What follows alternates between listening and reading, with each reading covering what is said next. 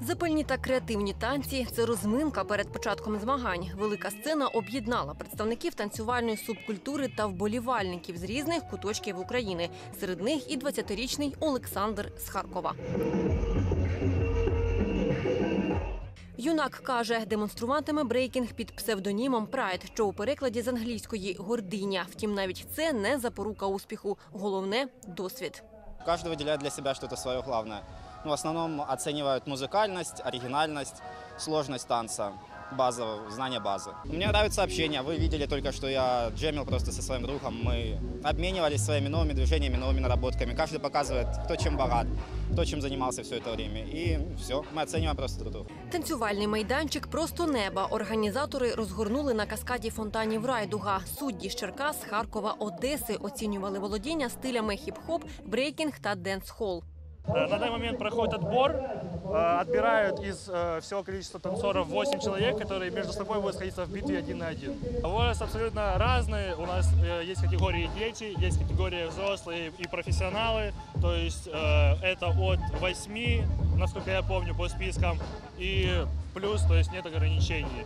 Готуються до танцювального двобою і 11-річні Софія та Кіра з Мелітополя. Розповідають, вивчили кілька акробатичних трюків. Заняття танцями допомагають їм знаходити спільну мову з однолітками. Конкуренты очень сильные.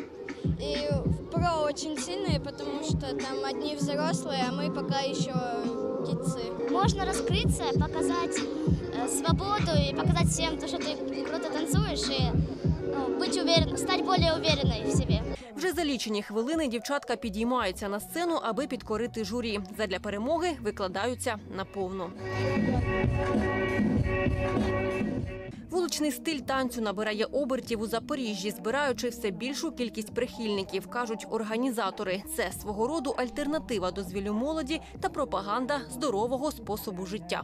У нас были электронные заявки, подавались они через интернет, было более 500 заявок, были предпросмотры, здесь уже танцуют 120 лучших танцоров, которые прошли уже предкастинги. Это по разным возрастным категориям, по разным направлениям танца.